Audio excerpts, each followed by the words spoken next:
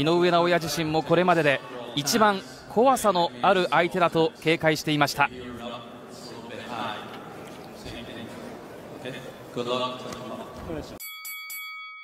長官の中 WBO 世界スーパーフライ級タイトルマッチが始まりました。黒いグローブが井上尚弥。これが初めての防衛戦右から左左最初の動きは村田さんどうご覧になりました？スピードありますね。スピードありますね、まあ、初めに威嚇しようって感じですね。強い俺のパンチは強いんだぞってところで威嚇してますね。右から左。ワルリト・パレナスもアマチュアで300戦以上のキャリアがあります。硬いガードは持っていると言われています。今具志堅さん、はい、そのパレナスが前に出てきましたが。やっぱりあの1ラウンドはね、はい、よく見た方がいいですね。いいです、ね、このフィリッピン選手はやっぱり1ラウンドから出てきますからね、はい、チャレンジャーですね、青いグローブ、まず先制パンチで圧力をかけた井上尚弥に対してパレナスもここからじわりじわりと出てきます。24勝 21KO の一発を持っているパレナス。その辺りは井上尚弥も十分に警戒してまあ、トレーナーの慎吾さん、お父さんは3ラウンドぐらいまでは慎重に戦ってもらいたいと話していましたがただ、いけると分かれば左のダブル。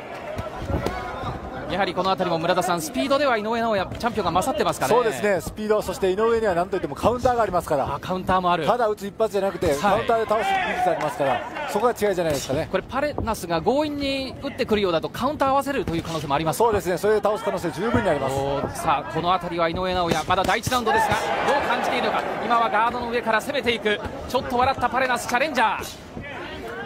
ジャブをガードの間に打ち込みます集中力があります。潜り込んでの左アッパーはガードの上。具志堅さん、ガードの硬さというのはパレナスから感じますか？やっぱガードをしっかり上げてますね。上げてますね、はい、これボディが効いてくるでしょうか？ボディはね、はい、じわじわって効いてきますからね、はい、ガードを固めているパレナス。一瞬カウンターの動きを見せた井上尚弥。 one、two、three です左のジャブスピードがあります。左フックは空を切ります。パレナス。ジャブからまた one two three。あ放送席で今村田さん小さくうなずいてらっしゃいますが。非常に動きがいいですね。動きいいですね、はい、集中力も非常に高さがこのリングサイドには伝わってきます。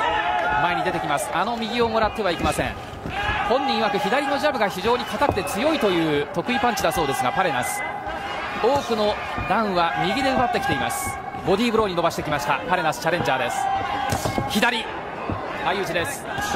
ワンツーボディに伸ばしていく。井上尚弥。いやいや素晴らしいコンビネーションでパンチ打ちますね。そうですチャンピオンは、はい。えー、1年ぶりのブランク、えー、その辺りの試合感は心配されましたが井上尚弥の1年ぶりの復帰戦初防衛戦でしたがというのはいかがでしょう？いやあの1年間、1年ぶりとは思われないですね、あそうですはい、あのやっぱ体でボクシングを覚えてますね、はい、物心ついた頃からですね、ボクシング、6歳の時からしてきました。左右をうまく使ってますね、あ左右のバランスがいいですか、もう左、さボディーブロー、はい、コンビネーションですよね、えー、1、2、3というね。そのあたり村田さんはどう見てますか？いや非常にスムーズで速くてかつ強い、はい。ええ、本当に素晴らしいパンチを打ちますね。一方パレナスの印象というのはやっぱり一発ありますね。一発ある。踏み込んで打ってくるパンチに関しては、はい、ガードの上からですが。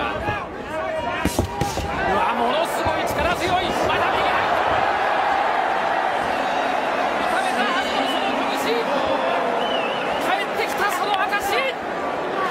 立ち上がりますがダメだこれはどうか続行可能かファイティングポーズを取りますさあ井上尚弥倒しに行く2ラウンドまだ2ラウンド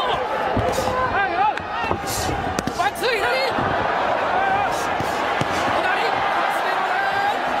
強い井上尚弥強いカメラも立ち上がることはできません、はい、これがあの去年よりすごい。